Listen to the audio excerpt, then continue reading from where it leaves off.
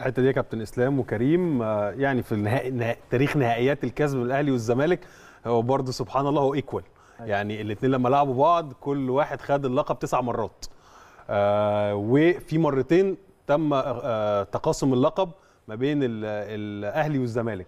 هو طبعا الكل وإحنا يعني حبيت برضه دي حتة كده اللي هو يا كريم أعمل نفسي برضه إيه فاهم شوية كده. أيوة، عارف أنت الحاجات دي يا كابتن إسلام؟ هو المفروض إحنا هي 20 مرة تسعة وتسعة واتقاسمنا مرتين. بس آه. هو في ماتش زيادة تعادل. أنا قعدت آه. وأنا بدور في ماتش في النص كده تعادل. ما تعادل ماتشين لأ إحنا التعادل الماتشين ده طلع في, في نسخة واحدة. اتعادلنا ماتش والقعدة بتاعته تعادلناها وتقاسمنا اللقب. ده كان آه، في 57 58 موسم أيوة. 57 ده, ده التاريخ يا كابتن إسلام.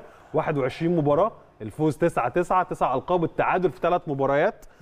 والأهلي سجل 37 هدف الزمالك سجل 33 إجمالي طبعا البطولات الكاس 38 للأهلي 28 آه، للزمالك. ولكن إحنا بنتكلم إن في موسم 37 38 النادي الأهلي ونادي الزمالك في النهائي تعادلوا مباراة ولما لعبوا الإعادة الزمالك كسب المباراة.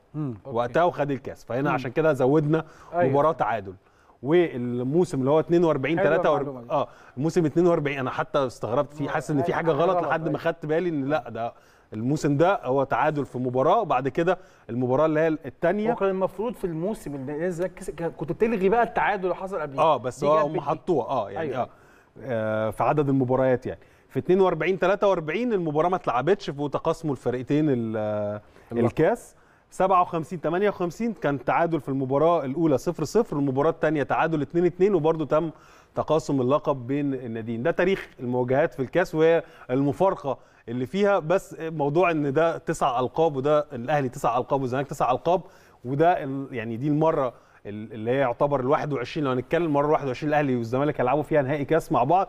هنشوف مين اللي يعني هياخد بقى اللقب العاشر في المواجهات اللي ما بينهم ونتمناها إن شاء الله للنادي الأهلي يعني. طيب